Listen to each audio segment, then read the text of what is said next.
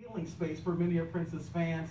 When they heard word that Prince had died at the age of 57, they began coming here, basically consoling each other. Lots of hugs, lots of tears going on out here with some of Prince's fans. We were told by many of those fans that Prince always made them feel like family once they came here to Paisley Park. His studio and his home part-time is where he would throw a lot of concerts, a lot of parties, and always invited his fans in to enjoy themselves and enjoy his music.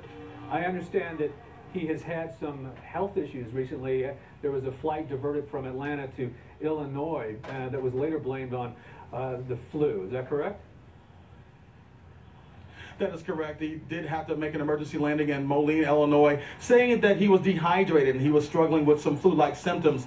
But then when he got here to Minneapolis on Saturday, he did have a party right here inside Paisley Park, made an appearance to tell his fans that he was okay. Prince Rogers Nelson was more than just a, a, singer, songwriter, actor. He was influential in many areas of the business and, and actually influenced a lot of other artists, did he not?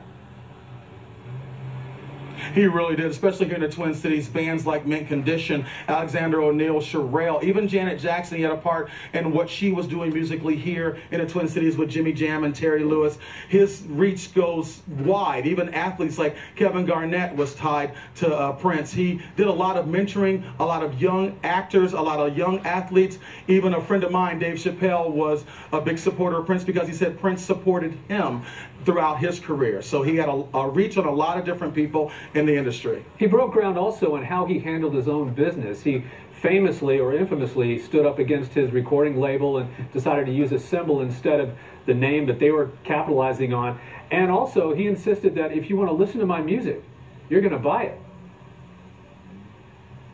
That's right. You can't go to YouTube and listen to Prince's music because he owns all of his rights. And that's something that he fought for during his career. And it was a message that he passed on to a lot of young musicians here in the Twin Cities area. The Minneapolis sound kind of started with Prince. And he made sure he mentored a lot of musicians, a lot of artists, and told them, make sure you control your own narrative by controlling your music.